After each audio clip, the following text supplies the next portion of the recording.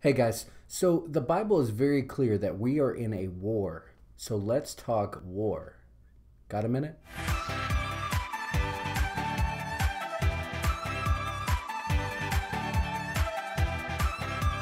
So, one of the best books and the one that has stood the test of time is The Art of War by Sun Tzu. And throughout his book, he talks about different strategies that are still studied today. And he wrote it between 500 and 400 BC. So, since we're in a war, we should be able to take these strategies and be able to apply them to our war. Even though our war is not of this world, one of the first ones I want us to understand is this Sun Tzu says, Appear weak when you are strong, and strong when you are weak. So, whenever I look at this quote, one scripture that just bounces right off the page to me is this one Be alert and of sober mind. Your enemy, the devil, prowls around like a roaring lion looking for someone to devour. He walks around like a roaring lion. He's not a roaring lion. He's not this all powerful force. There's only one lion, the lion of Judah. A lot of times we can be in the middle of our own power struggle, our own war, and the devil just appears so strong, but he's not. The devil has no hold on you